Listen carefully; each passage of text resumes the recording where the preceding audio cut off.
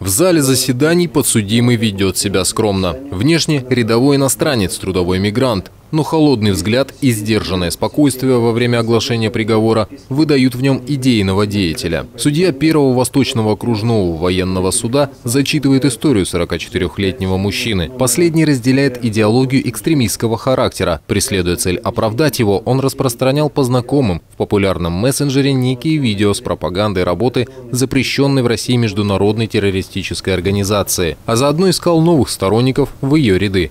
В итоге суд признал мужчину виновным в преступлении, предусмотренном второй частью статьи 205.2 Уголовного кодекса Российской Федерации. Подсудимого приговорили к году лишения свободы. Этот срок он проведет в колонии поселении, а затем еще два года будет лишен права размещать любые материалы в интернете и других сетях. В то же время сам пропагандист не единственный, кого коснется правосудия. Под уголовное преследование попали и те его знакомые, которые помогали репостить полученное видео с радикальным подтекстом. Приговор уже вступил в законную силу. А в региональном управлении ФСБ напоминают жителям и гостям Сахалинской области о действующем законодательстве, а точнее о предусмотренной уголовной ответственности за публичные призывы к терроризму или его оправдание, а также пропаганду. Поплатиться за такую деятельность можно реальным лишением свободы на срок до 7 лет.